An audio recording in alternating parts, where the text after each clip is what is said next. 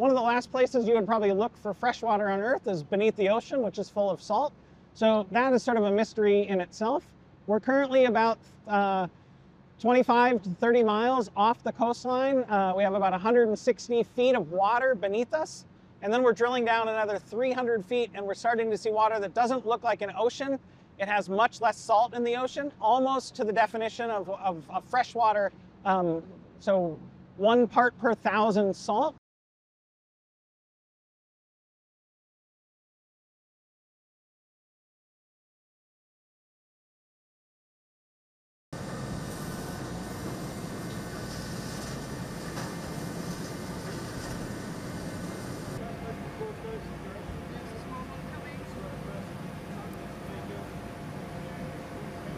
One of the ideas is 20,000 years ago, there was a large ice sheet above us, and that ice sheet was melting at the bottom and it pushed that fresh water down beneath the continental shelf. Then sea level rose when those glaciers melted and trapped all that fresh water. Uh, that's a hypothesis that we're going to be able to test with some of our techniques. Another hypothesis is in the geological past, sea levels have been lower, 300 feet lower. Instead of having 150 feet of water beneath us, this was a beach, and we just had rainwater coming down and seeping into the ground just like you would uh, in your backyard today. But now it's been flooded by the ocean,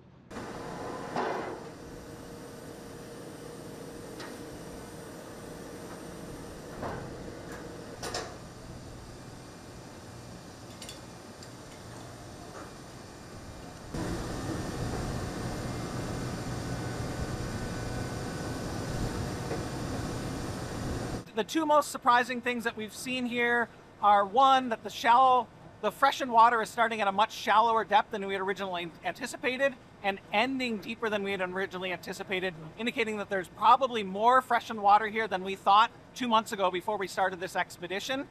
Uh, another interesting thing that we've seen is everything that we're drilling through rocks that are tens of millions of years old are still loose sediments like beach sand and clay that you would buy at a modeling store. And so why haven't these turned into rocks? This might be part of the fluid flow st story that explains this fresh water system.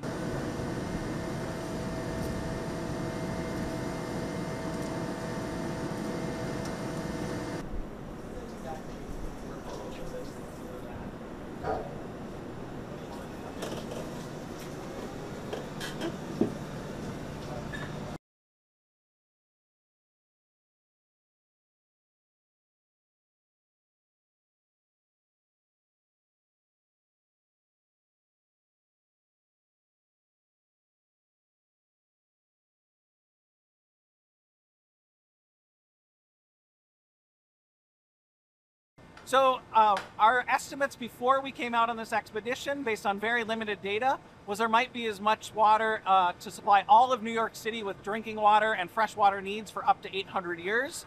The sediments that we're recovering and the volumes of fresh water that we're estimating will be able to put it, allow us to put that in a better, more realistic context. It's not to say that New York City would use it, but that's just a frame of reference. The water we believe extends from all the way up to Maine down to New Jersey. So we need to extrapolate from the three sites that we're drilling here, south of Nantucket Martha's Vineyard, all the way from New York City up to Maine to get a better estimate.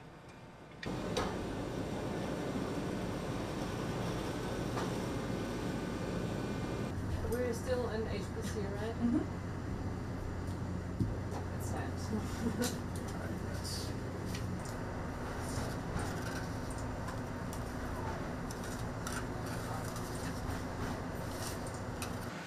and this is the, the core handler here.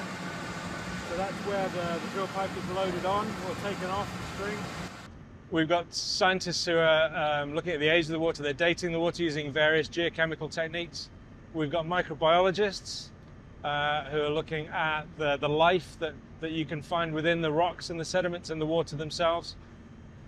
Um, uh, we have uh, sedimentologists who are looking at the structures of the rocks and the, the actual makeup, the, the geology of the, the rocks and sediments uh, beneath the seabed uh, and see how they compare with stuff that we've got onshore.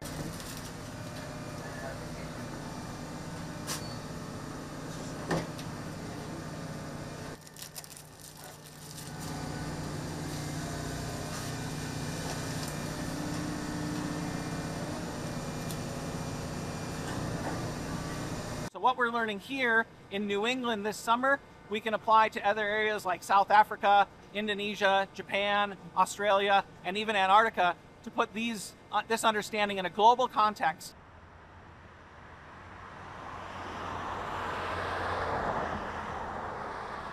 This is a, a setup, a schematic setup of the work we did um, off New Jersey and Martha's Vineyard in, in 2015.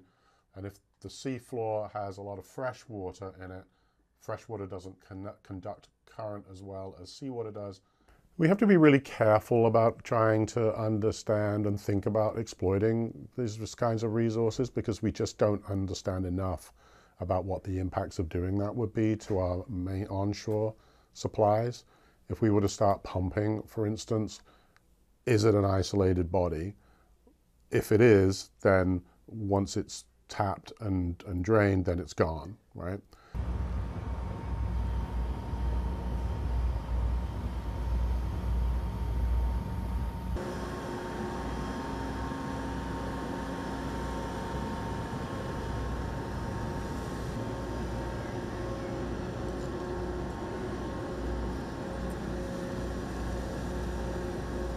If it's connected to the terrestrial supply, then pumping could you know, be pulling fresh water from beneath the islands offshore, which would then deplete the supply uh, beneath the island. So there's a lot of potential risks to, to exploiting that. That said, there are countries that are looking at doing this, um, particularly very water-starved countries.